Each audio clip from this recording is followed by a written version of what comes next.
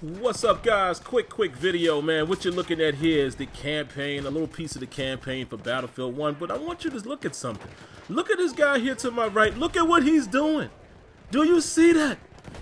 This is my most requested feature for Battlefield is the being able to cover fire. The CPU can do it, but you cannot. Why is that? Why is that? Come on, Battlefield, man. Please give us that ability, guys. I need that. I need that. That's what I like most about the Rainbow Six series and the Ghost Recon series, your Gears of War. And I'm just showing it here to you again. The biggest shooters in the world, in my opinion, Battlefield and, and COD, you don't have this ability. But as you can see, it is in the game, but you cannot do it. Why not? Give me the ability to shoot from behind cover.